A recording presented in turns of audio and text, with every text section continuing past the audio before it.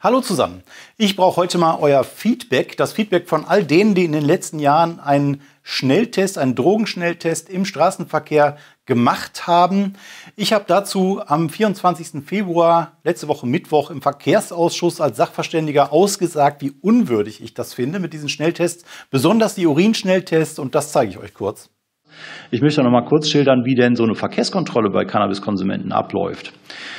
Die haben ja nicht, wie, bei Alkohol, dass man da einen belastbaren Alkohol-Atem Pustetest hat, der äh, vom Eingriff her relativ überschaubar ist. Man pustet da und hat ein äh, belastbares Ergebnis, sondern in der Regel werden Urinkontrollen gemacht, äh, was halt eine extrem erniedrige Prozedur ist für die Betroffenen, die haben natürlich oft keine Toilette in der Nähe, die müssen sich dann in irgendeinen Busch äh, verziehen oder so, ja, und da in einen Becher pinkeln. Oft ist die Polizei steht noch daneben und guckt, ob da irgendwie gefaked wird oder so. Also tatsächlich äh, ein Massenverfahren an Polizei guckt Leuten beim Pinkeln zu.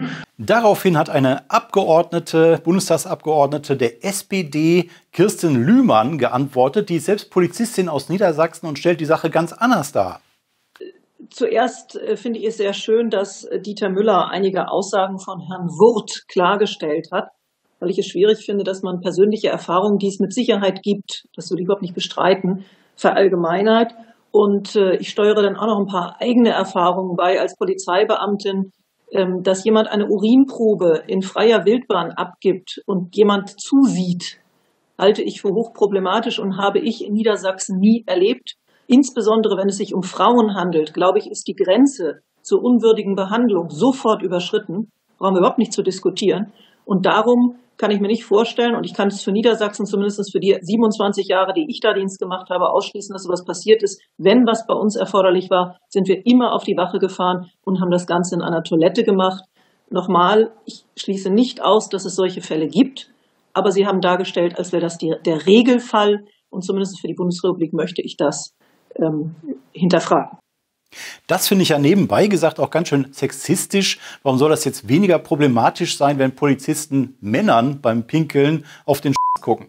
Gut, aber darum soll es hier nicht gehen. Die Frage ist, lag ich falsch mit meiner Schilderung? Lag Frau Lühmann falsch? Könnt ihr uns updaten, mich oder sie? Bitte gebt uns euer Feedback alle die, die in den letzten Jahren einen Drogenschnelltest im Straßenverkehr mitgemacht haben, bitte einmal kurz folgende Fragen beantworten. Wo ist euch das passiert? In welchem Bundesland?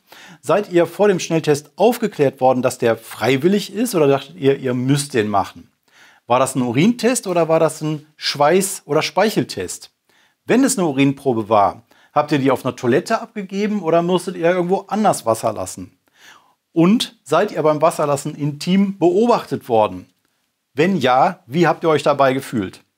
Diese Erfahrungsberichte in möglichst großer Menge von allen, denen das passiert ist, werden uns weiterhelfen. Entweder mir, weil ich ein Update kriege und lerne, dass es doch alles nicht mehr so schlimm ist, oder Frau Lühmann, kriegt ein Update für die Realität. Wir werden Sie dann entsprechend auf dieses Video hinweisen und auf eure Kommentare. Also los, her mit eurem Feedback und euren Erfahrungen zu eurem Drogenschnelltest im Straßenverkehr hier in die Kommentare.